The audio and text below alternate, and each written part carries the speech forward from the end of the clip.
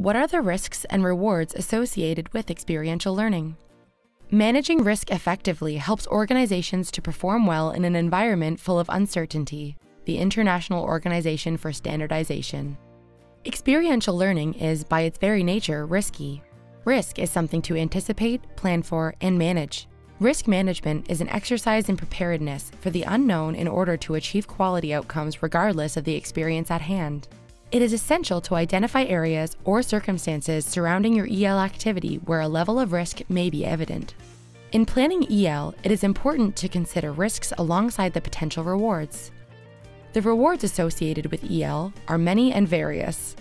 In a well planned EL activity, rewards outweigh the work it takes to mitigate risk and plan for all eventualities. As you begin your planning, keep in mind that there are many benefits to EL for everyone involved. Our touch points in experiential learning really come into the insurance coverage as well as um, assisting faculty members and, and other staff members who are arranging for uh, placements in really empowering them with information on assessing risk.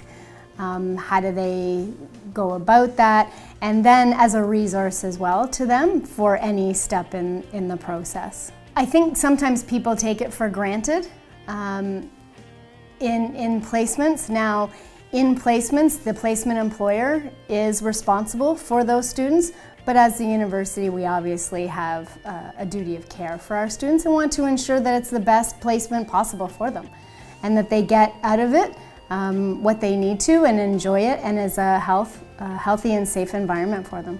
Now when I talk to faculty, it's that idea of um, that there might be risk involved.